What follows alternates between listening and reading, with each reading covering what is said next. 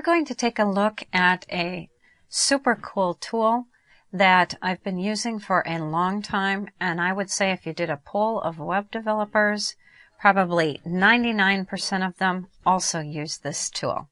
And it's a tool called Firebug. And it's used within the Firefox browser. And it is another reason why a lot of people tend to use Firefox as their default browser.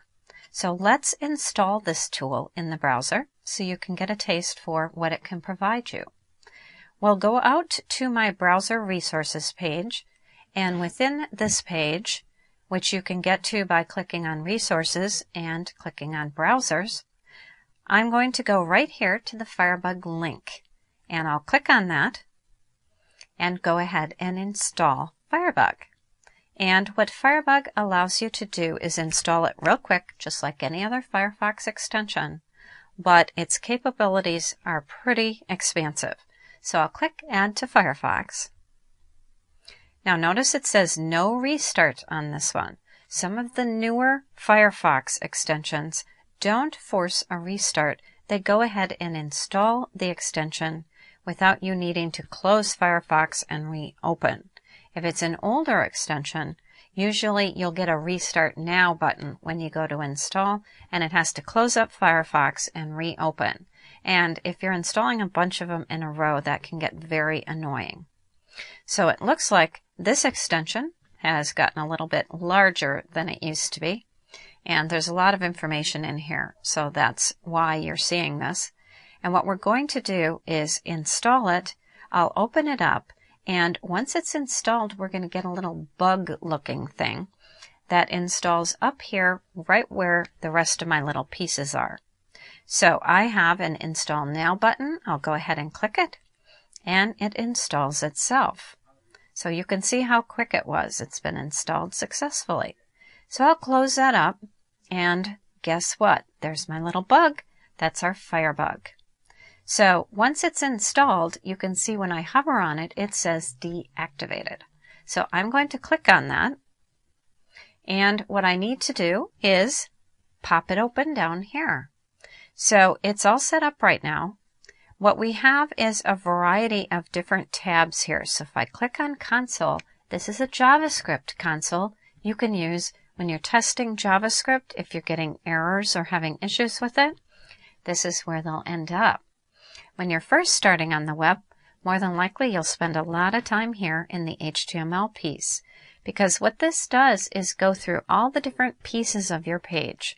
So if I hover over this div that says page, you can see I get this big blue square on top of my page.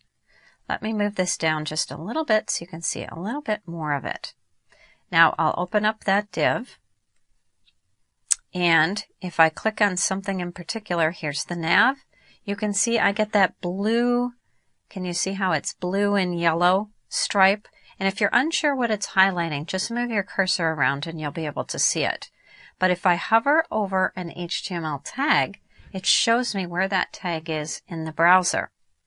Now I can also go into the CSS piece to view some of the CSS information on the page. And I'm just in the Firefox piece, let me go over to my website and show you the same thing. So I'll go ahead and open up Firebug. Here it is. And I'm in CSS. So this is a listing of all of the CSS rules for my website. But what's interesting is I can click this little arrow on the left hand side to inspect specific items within the page. So I've clicked on this and as I hover over, you can see what it does is change the code information at the bottom of the page down in this area. And it shows me the HTML piece on the left and in the right over here, it's showing me the CSS at the same time. Move this over a little bit so you can see it a little bit better.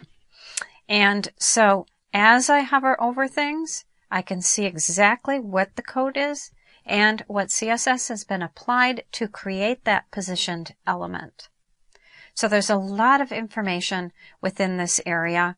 You can even use it for debugging any Ajax applications, which are basically JavaScript uh, applications that you can add to your web page. And if you're getting any errors, you can have those errors sent to Firebug and the console within this so you can try and figure out what might be causing those issues. So there's a lot of information in this Firebug extension and it's a very handy piece. I think it's one you're going to want to make sure that you install within your web pages. And you can get to it through my website here under browsers. Here's the Firebug link. It must be installed into Firefox specifically. So you want to make sure you have the Firefox browser first before you try and install Firebug. And that's the browser where you install it. So that is how you install and can take a look at and view elements on your page using Firebug.